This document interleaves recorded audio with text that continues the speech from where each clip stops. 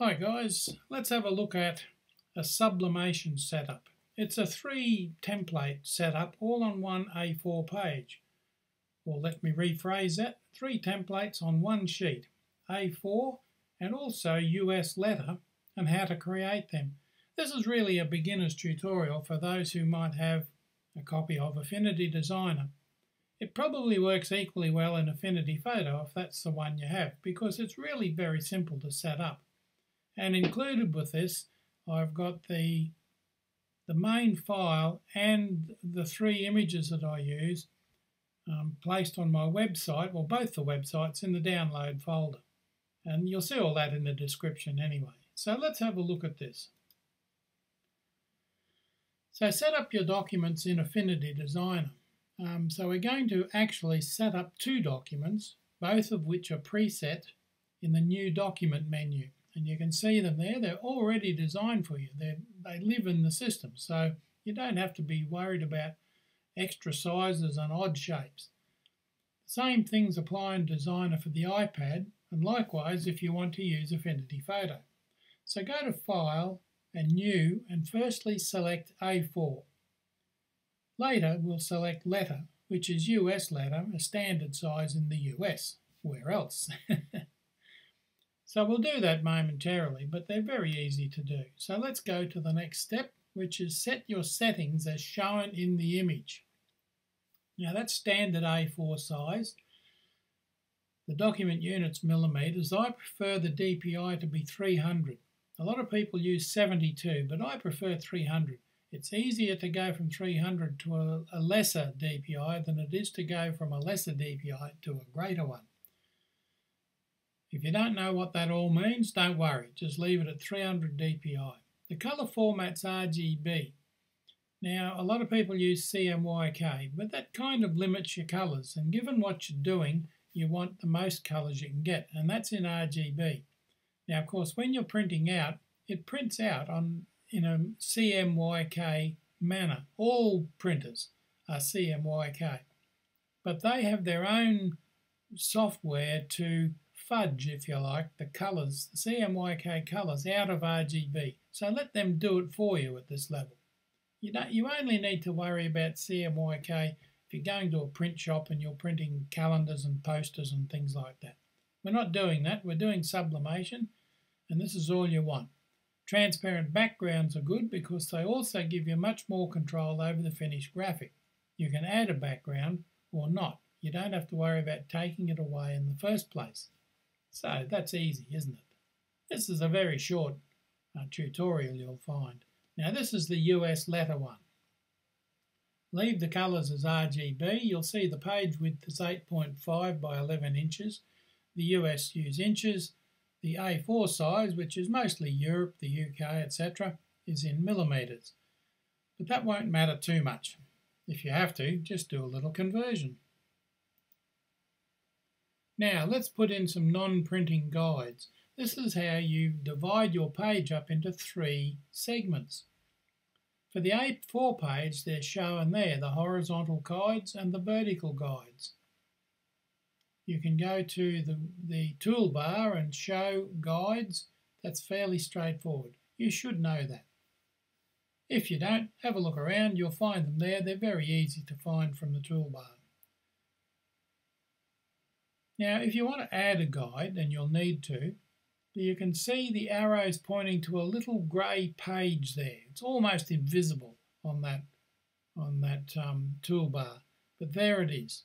I don't know why um, Affinity in their wisdom have made it so hard to see, but you just have to live with it.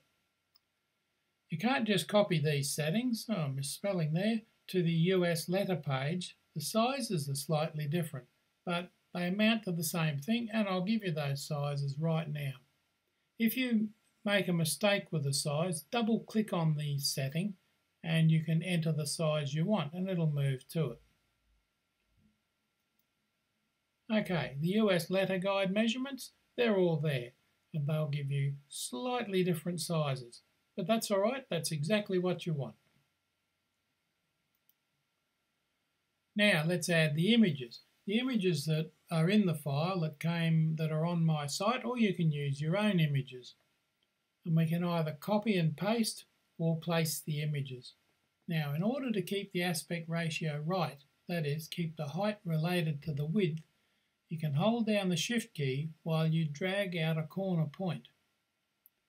Because you don't want them higher or lower than those horizontal lines.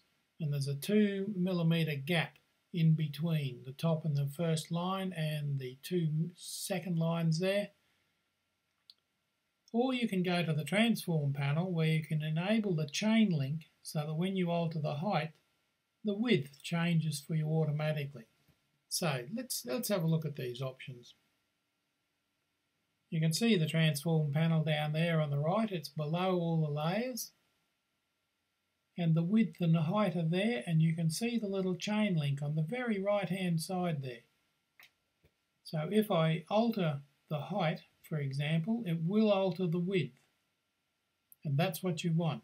You don't want the design you've worked so hard on or you've paid so much money for to be disfigured by having its aspect ratio changed. Make sure you have the blue dot in the middle of the square in the bottom left it defaults to the top left and that will place your image somewhere off the page but you want it right where you've got it in the center so make sure that little blue dot is clicked. Now we're getting there you can now start adding your images keeping them within the boundaries of the non-printing guides. You'll have three sublimation prints per sheet. You can place the images wherever you like horizontally keeping in mind that the blank panels either side are areas that the handle of the mug will occupy. Don't forget your mug's got a handle on it. Well, most of them have. If it hasn't, you're in luck. So don't put any hot stuff in the mug. the centre line is the side of the mug furthest away from the handle. Now, if you want that insect, for example, facing you as you're holding the handle, you'll probably have to reduce its size slightly and move it slightly to the right or the left if you want it facing away from you, if you're holding the mug with your right hand. Now that's the end of it. Too easy. Remember when you come to print these out, your printer will undoubtedly give you grief. Because printers don't print right up to the edge and they do all sorts of strange things. Some do, some don't. You can get them to do it.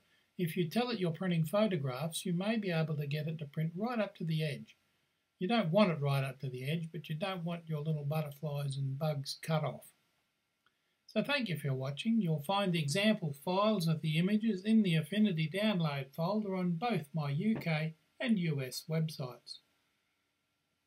I'm building one slowly, that's the US one, to replace the UK one. Whether it ever does or not, I don't know. Remember you can use these for almost anything you want, not just putting three images on a mug.